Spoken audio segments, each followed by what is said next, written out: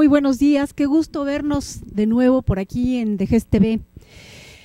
Mi nombre es Estela Guerra Garnica y continuamos con el taller de creación literaria La palabra es primero.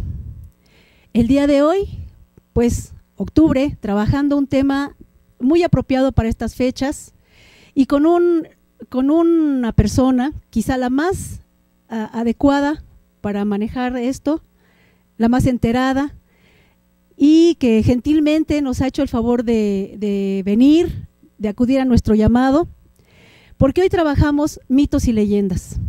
Está con nosotros nada más ni nada menos que Germán Argueta. Germán. Hola Estela, un placer aquí compartir contigo. Eres, pero súper bienvenido. Bueno, yo encantado y sobre todo con esa raíz que nos une del pueblo Temascalcingo. entonces, pues, ¿qué más que que la escritura también es visual y también es el cuerpo que anima a este cuerpo cuando uno platica de las historias compartidas de, esta herencia de la tierra nuestra. Claro, increíblemente, pues nos estamos conociendo y descubriendo eh, un mismo origen y además una misma inclinación hacia las letras, hacia la poesía, hacia las raíces. Qué maravilla, qué regalo de la vida, le agradezco mucho. Y bueno, pues eh, eh, quiero contextualizar el programa eh, recordando que estamos haciendo este taller para eh, nuestros alumnos de secundarias técnicas y también para los compañeros profesores, básicamente de la materia de español, pero también para todos aquellos frente a grupo o no frente a él, que estén interesados en rescatar elementos para poderse dedicar a la literatura, para poder escribir, para leer con elementos, con recursos que les permitan la comprensión de lectura. Y bueno, volviendo a Germán. Germán, ¿nos puedes hacer una breve semblanza de tu trayectoria? Tú eres eh, antropólogo de formación. Sí, de formación y de formación. Es decir, sí soy egresado de la ENA y también hago recorridos en el centro histórico y cuando digo de formación lo digo con ironía porque también voy a los antros, hago visitas guiadas a las cantinas y bueno, soy antropólogo, cuentero profesional, poeta, editor de la revista de crónicas y leyendas, fotógrafo, eh, vendo quesadillas, sopes. Este, me quedan muy bien los sopes, muchachas. ¿En tus ratos libres? Eh, no, eh, por las noches también luego salgo a trabajar, vivo aquí en la calle de las Gallas, de las trabajadoras de, la sensualidad por ahí, eh, aquí en el centro histórico, aquí en Mesones, calle Cruces, entonces, bueno, soy eso, ¿ah? me encanta mi trabajo, como parte de todo un lenguaje ya que se escribe en mi cuerpo, Estela. Pues sí, eso es lo que estoy notando ahora, que no tienes tiempo de, no tienes tiempo para perderlo. Eh, yo a Germán lo conocí hace ya varios años solo por sus publicaciones, porque me saltó el nombre de El Conde de Santa María, de Temascalcingo eras, ¿no? El Conde del Valle de Temascalcingo. Del Valle de Temascalcingo, pero también hablabas de otro personaje de, Santa María Canchesa. Entre otras eh, muchas publicaciones que él tiene, eh, nos ha traído a mostrar la portada de esta última. ¿Nos puedes hablar un, brevemente de este trabajo editorial?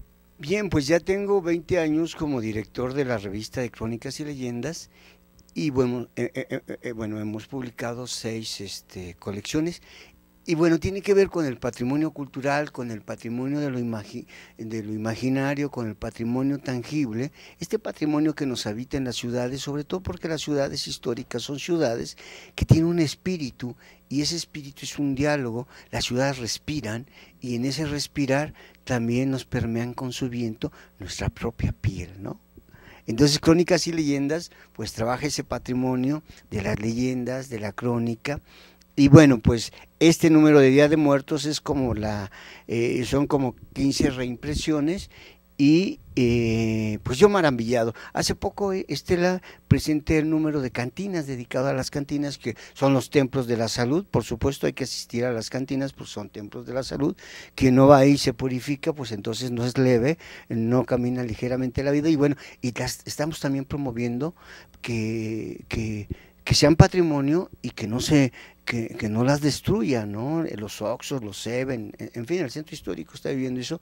Y bueno, yo también soy eh, sí soy editor, pero mi ciudad, mi país, mi pueblo es parte de nuestro patrimonio, es el lugar del arraigo, el sentido de la vida, la tierra y los espacios culturales que son eh, son espacios que nos habitan.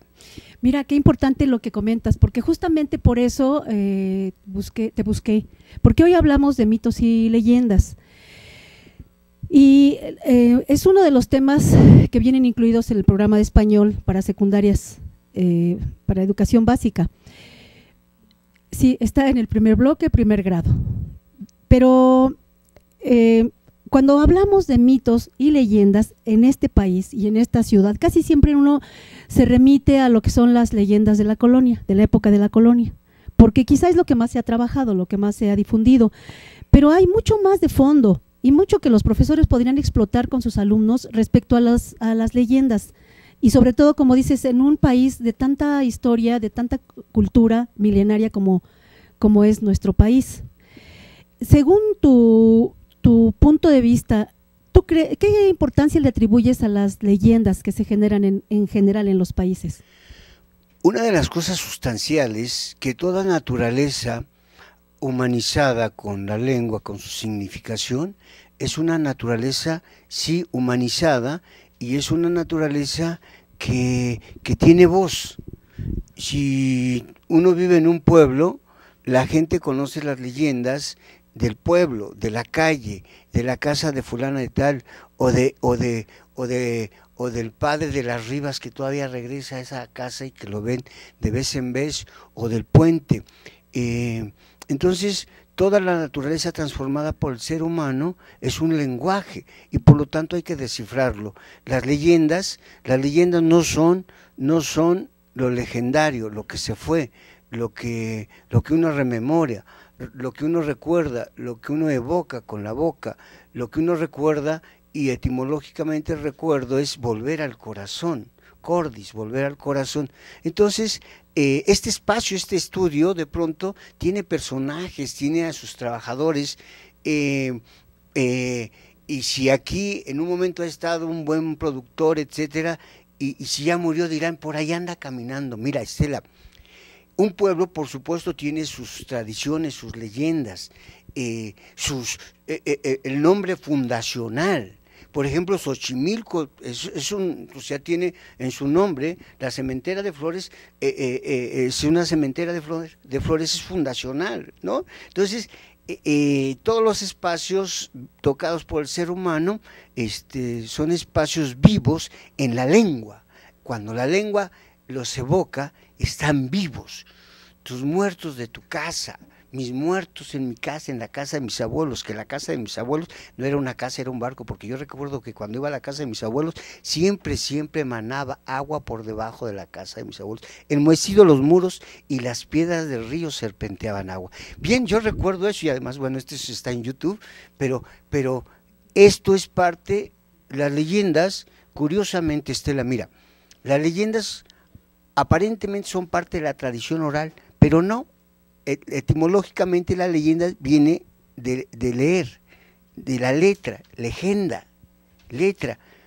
Y bueno, tiene su origen en la, en la, eh, en la historia de los santos, que eran leyenda, pero por la escritura. Pero hoy lo ligamos con la tradición oral. Entonces, allá hay una riqueza entre la oralidad y la escritura, ¿no? Lo que pasa es que además em, hablas de la tradición oral. Antes de que existiera la escuela como institución, así se educaba oralmente. Eh, yo creo que en todos los países del mundo, ¿no? Aquí, por ejemplo, si ustedes eh, eh, acceden a algún texto de Miguel León Portilla, donde nos dice cómo les hablaban los padres a los, a los hijos, encontramos poesía pura, casi. Claro, por supuesto la lengua es poesía, sobre todo cuando se busca en la raíz. Ok, pero fíjate que el tema está interesantísimo y tenemos algunos comentarios de los, de los amigos que nos están viendo allá en sus monitores en las escuelas. Vamos a, escucharlos. Es correcto, Estela y bueno, eh, también Germán, fíjate que están conectadas. Aprovecho para mencionar la, escuela 113, la 30, se va incorporando Yadir en la 35 y ahí, está Tony en la 38. Eh, nos mandan, por supuesto, saludos a todos los compañeros y a las escuelas hermanas. Eh, dice que el profe se deforma en esta ciudad, le hacen la mención. Muy dinámico el escritor, pero también nos preguntan, bueno, ¿y dónde podemos encontrar su material? O si hace favor de, mandarnos alguna señal, este, alguna dirección electrónica, pues para estar en contacto con, con los trabajos o más información acerca del tema, porque por supuesto que las escuelas están muy interesadas. Yo regreso con ustedes y estoy al pendiente del chat. Pues muchísimas gracias y eh, qué bueno que nos están, que se están interesando por el tema, Germán. Desde luego que vamos a obtener información sobre dónde conseguir tu trabajo. También necesitamos que nos des el nombre de los videos que tienes, que has subido a YouTube, porque esto que tú manejas es verdaderamente apasionante. Dentro de los géneros, perdón, dentro de los géneros literarios, yo he comprobado que las leyendas es lo que más atrae a las personas.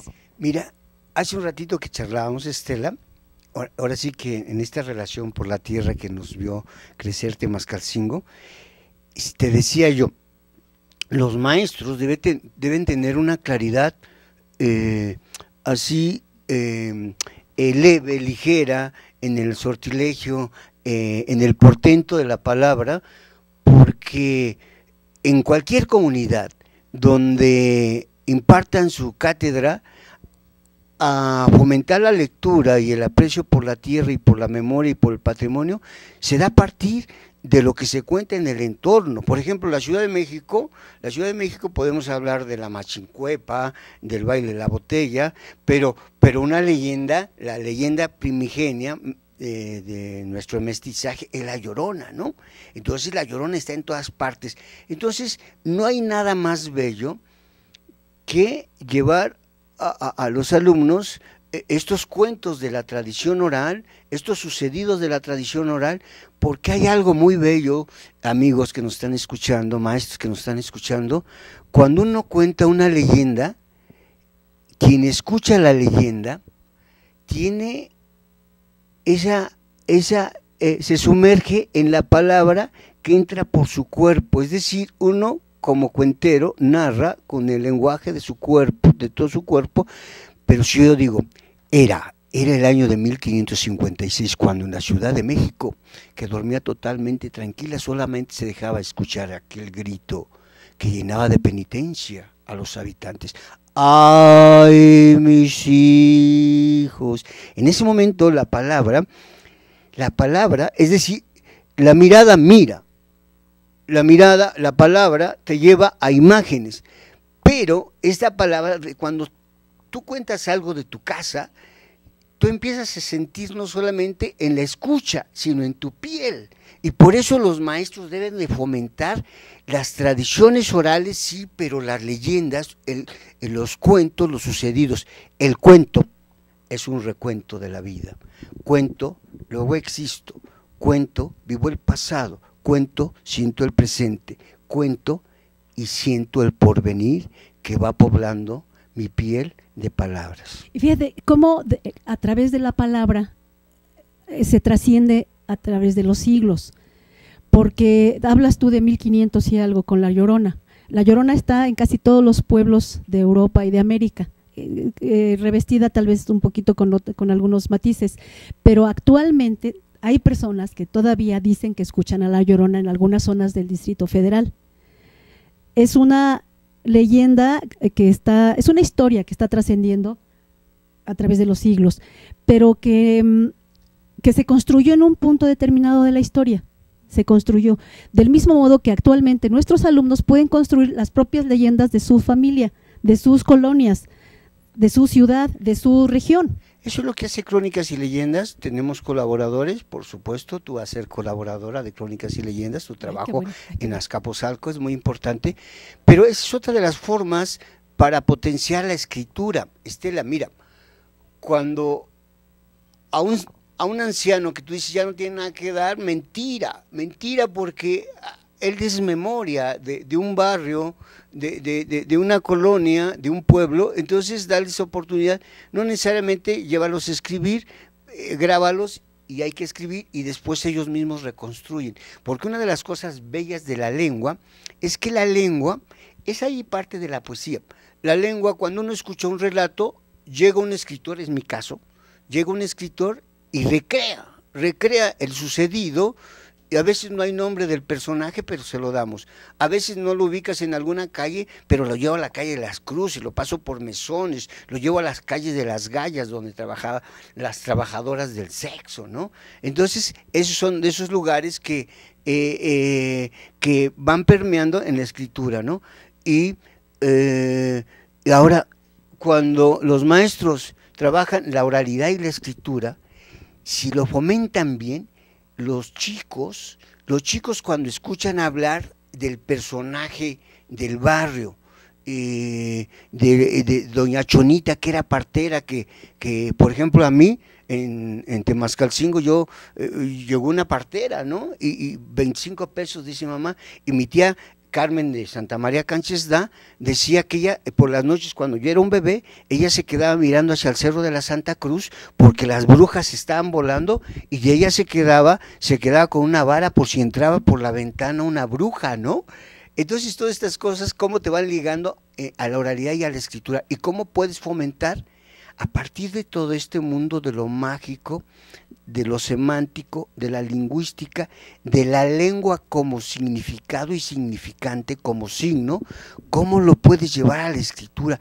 Es bellísimo.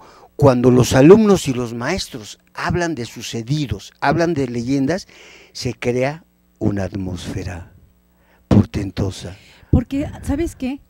Se está abriendo, se están abriendo los ojos de la imaginación. Porque la palabra, así como dice este taller, la palabra es primero la palabra te... No es de gratis que el niño cuando empieza a crecer eh, em, eh, está aprendiendo a pensar al mismo tiempo que aprende a hablar. Claro, porque el niño cuando se le habla, se le están construyendo imágenes y el niño cuando, cuando pide la mamá, la palabra mamá, mamá, y es la mamá, es una forma de succionar y esta palabra de mamá existen varias lenguas como papa, tata, ¿no? Son cosas que, que te llevan incluso a la raíz etimológica de las palabras. Que es algo que en, en los salones de clase tendría que abordarse. Pero a veces la carga de trabajo lo impide. Sin embargo, con, con métodos relativamente simples, porque pues pídele a tu alumno que escriba la historia de su familia, que le pida a sus abuelos, porque fíjate que dentro del caos que vivimos dentro de las escuelas a veces y de las crisis eh, que atraviesa la educación pública en México, se dice que pues ahora los alumnos no hacen mucho caso de lo que le tengan que enseñar los abuelos, porque hacen más caso de la televisión, hacen más caso de los medios, de la computadora, de la tablet. Y, y, platican poco en las familias. Entonces, esta, ¿tú crees que existe el riesgo de que se rompiera esta tradición oral? De hecho, podemos eh, pensar en esta fragmentación eh, de las familias, fragmentación de la oralidad y la escritura, eh, la limitación de, de, la lengua, es decir, del vocabulario, que es real. Pero mira, yo con mi experiencia como antropólogo, como escritor y como cuentero, me dijeron, me dijeron que hoy en la Ciudad de México todos, todos, todos, todos, hoy al despertar, Sí, despertaron con azúcar en los labios, pero solamente se dieron cuenta los que hoy sí, al despertar, tenían azúcar en los labios.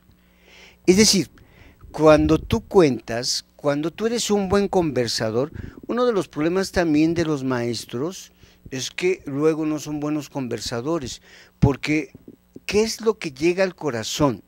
La palabra. Hay algo muy importante, Estela, mira, cuando yo hablo, cuando converso, cuando soy un buen conversador, tú al hablar, al contar, estás dirigiendo el ritmo del corazón de los escuchas. Tú modulas el ritmo del corazón. Si tú a un niño le gritas, el corazón eh, se agita. Si a un niño le hablas con susurros, a los bebés los arrullas, los educas. Si a los chicos les hablas de su patrimonio cultural, ese momento es un momento muy importante porque los muchachos van a estar pacientemente embelesados, embelesados en el asombro. Lo que asombra abre la mirada. no deja parpadear los ojos. Y cuando los ojos no parpadean, se llenan de luz, se llenan de imaginación, de los imaginarios. Cuando alguien ama a alguien, hay veces que tu pareja no te escucha, se está arrullando solo con tu voz, así se llega al erotismo, a la sensualidad. La palabra, con sus tonos, con su ritmo, llega al corazón. A veces no importa lo que se dice, pero si nace desde dentro, embeleza. Y volvemos al punto, si, si hacemos eh, esta práctica de enseñanza con pasión, todo lo demás llega solo, ¿verdad? Pero oye, es fascinante lo que estás, lo que estamos aprendiendo contigo, aunque bueno, el tiempo nos anda correteando. Eh, y tenemos algunos comentarios en el chat, por favor. Claro que sí, Estela. Mira, fíjate que está pues eh, muy entretenidos, muy participativos las personas que nos acompañan en el chat. Nos dice Yadira, allá en la 35, a nuestros adolescentes les encantan las leyendas y más en estas épocas. En la técnica 30 nos dicen, es muy cierto, el lenguaje oral va apoyado del lenguaje corporal, haciendo referencia a lo que nos comentaba nuestro invitado. También eh, con respecto a la tradición oral, dice que es muy buena, eh, Yadira nos menciona, porque transporta al lugar de los hechos. Eh, también nos mencionan que eh, nuestro invitado se apasiona por su profesión. Creo que no, nos hemos dado cuenta, pero ella sí. Bueno, muy bien. Eh, en esta semana, ¿cómo lo llevan a cabo? ¿Cómo responden los chicos? Nos platica Yadira en la 35, que en esta semana en el descanso les leen cuentos disfrazados y todos se acercan a escucharlas. Eh, sobre todo en esta semana que es la semana que ponen su ofrenda. Y bueno, es muy interesante la propuesta que hay en la Escuela 75, que la, la, comparte con las demás, eh, de toda la comunidad de las escuelas. Y seguimos con ustedes porque ya estamos llegando al final. Regreso con ustedes. Pues muchísimas gracias. Fíjate qué importante que se estén rescatando o que no se permita que se pierdan estas tradiciones, porque definitivamente las leyendas son parte de nuestra identidad. ¿Estás de acuerdo que México no sería el que es sin estas fiestas, por ejemplo, de Día de Muertos? Por supuesto, el ser humano vive aquí, pero en el más allá también se alimenta con lo que se anima, ánimas que no amanezca. Hoy, Día de Muertos, bueno, próximamente vienen nuestras ánimas. Nosotros somos animales simbólicos y por eso cuando uno es habitado por sus muertos, uno vive la vida intensamente. El día que dejas morir a tus muertos, te estás muriendo a pedacitos. Por eso la tradición oral, por eso la presencia de nuestros muertos, por eso la defensa de la tierra, de las comunidades, por eso la necesidad de que se siembre, por eso la necesidad que en los barrios se defiendan ante los embates del capital inmobiliario, por eso la necesidad de que los campesinos tengan apoyo, para que se mantengan en sus tierras. Yo no, la palabra revolución en, cultura, en educación, eh, quizá esté en desuso, pero habrá que decir que cuando un sistema educativo trabaje de una manera más profundo, profunda con sus tradiciones, con su patrimonio de lo imaginario, con su patrimonio de lo tangible, vamos entonces a potenciar lo que potencia la relación con el ser humano, la palabra. Porque la palabra que viene desde dentro, viene desde dentro porque se enraiza en las nervaduras de nuestro cuerpo y de la tierra. Pero es que potencias la palabra y potencias el, amor y protección a, a tus orígenes, a tu raíz, a tu tierra, a tu país. Es ahí la belleza de nuestro país, como país hermano todavía grande de, en Sudamérica, nos quieren mucho, les duele mucho lo que estamos pasando, pero he ahí lo importante de trabajar con la palabra y de trabajar con la palabra con todos los lenguajes de nuestro cuerpo. Claro, claro, si hiciéramos menos aburridas las clases, si utilizáramos todos los recursos que el cuerpo nos ofrece, seguramente más alumnos llevarían... El día que la Secretaría de Educación Pública trabaje con los narradores de cuentos, con los que tenemos esta experiencia, vamos a hacer toda esta revolución en cada uno de los cuerpos de los maestros para que ellos vivan más intensamente sus lenguajes. No hay nada más bello que sentir que tu cuerpo es metáfora, que es poesía, que es leve, que vuela. Oye, pues Fíjate que demos respuesta a aquella pregunta de, de los amigos que están en las escuelas. ¿Dónde pueden conseguir tu material? Eh, está en librerías, desde luego. Este, por ejemplo, pues tiene un precio de 40 pesos, tiene un eh, sello de registro de autor. y Sí, estamos en todas las librerías de Ducal, en todo el país. Eh, estamos en puestos de periódicos en la Ciudad de México, en algunos, pero en todo el país, en todo el país, en la red de librerías de Ducal desde hace 19 años. Y pues apunten amigos, Germán Argueta, Germán con falta de ortografía, es problema de Temascalcingo, Germán Argueta eh, en el Facebook y eh, crónicas-leyendas o leyendas mexicanas, leyendas mexicanas en Facebook. Ahí nos encuentran, ahí somos amigos y ahí les damos el tip y les pasamos la cartelera. Eh, pasado mañana reinauguramos la Casa del Cuento y la Leyenda aquí en la calle Regina, en el centro histórico número 43 y les brindamos información en el Face con mucho gusto. Pues mira, este programa ha quedado a medias, la verdad. Muchísimas gracias por haber asistido con nosotros. Eh, me congratulo de haber hecho este programa con un compatriota de Temascalcingo, un pueblo, una región a la que yo adoro, no nada más porque nació allí José María Velasco, sino porque genera esta clase de talentos. Porque ahí nacimos también. Ahí nacimos bueno, pues que estén muy bien y nos estamos viendo en el próximo programa, no se lo pierdan. Taller de creación literaria, la palabra es primero. Que estén muy bien.